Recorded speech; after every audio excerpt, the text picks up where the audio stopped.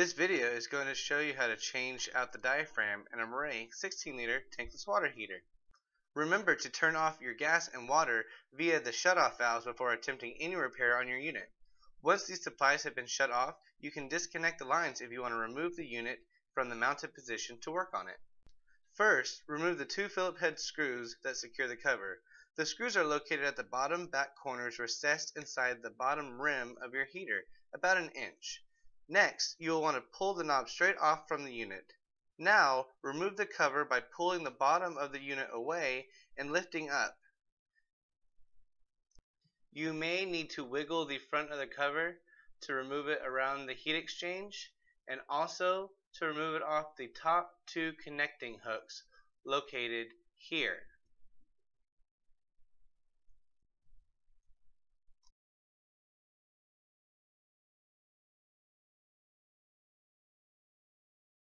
Now, grab your drill or driver, preferably an impact driver with a 6 inch Phillips head bit. If you do not have an impact driver, then you can warm the screws up by placing the tip of your screwdriver on the head of the screw and lightly tapping the butt of the screwdriver handle. First, remove the batteries from your unit, and then remove the two screws that secure the battery compartment to the case to better allow access to your water valve assembly. The diaphragm is located in the bell housing of your brass water valve. Start by removing the four screws that hold the water valve housing of the diaphragm together. Once these four screws are removed, you will want to remove the two screws that connect the heat exchanger tube to the water valve. Finally, remove the two screws that secure the water valve assembly bracket to the bracket plate connected to the back of the unit. Gently remove the freed half of the water valve and remove the old diaphragm.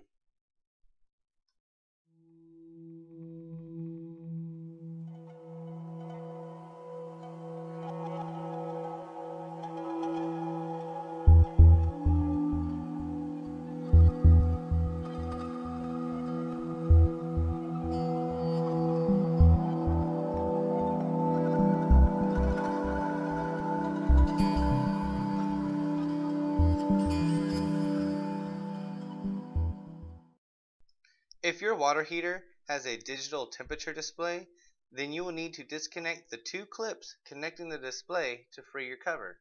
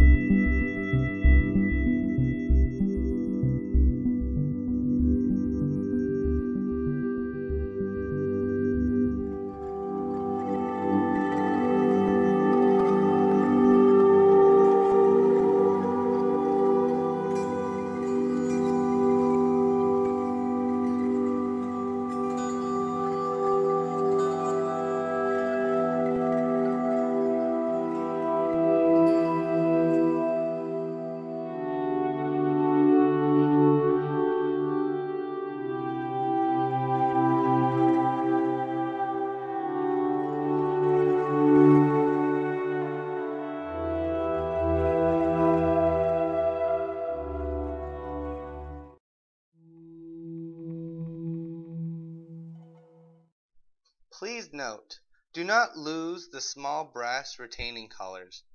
They will need to be removed from your old diaphragm and inserted into the new replacement diaphragm.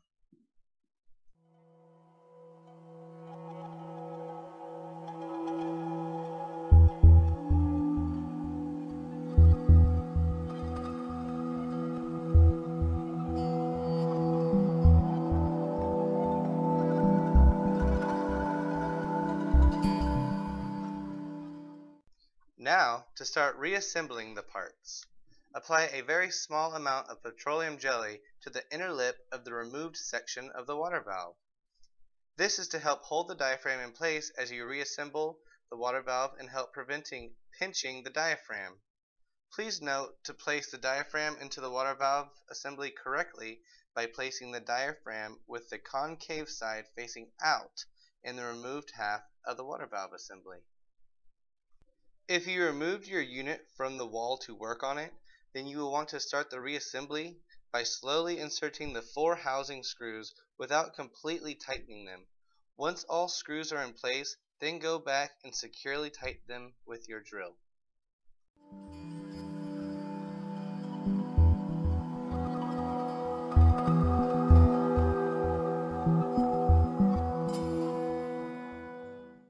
Careful that the diaphragm has not gotten pinched in between the two pieces of the water valve assembly and it is pushing out the bell housing.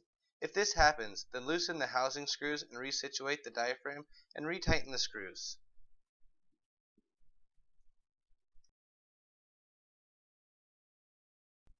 Next, reattach the water valve bracket to the back case and finally reinsert the two silver screws that attach the tube from the heat exchanger to the water valve.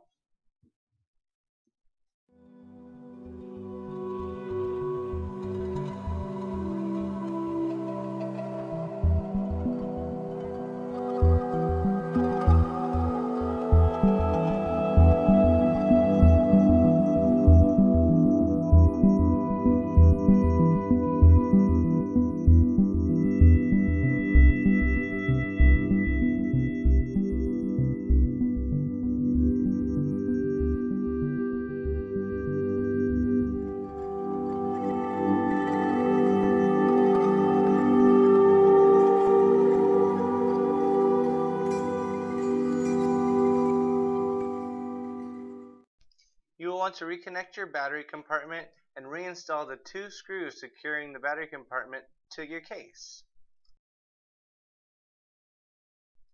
If you left your unit mounted on the wall, then you will repeat the same process, only you will need to connect the water valve bracket loosely to the back mounting bracket.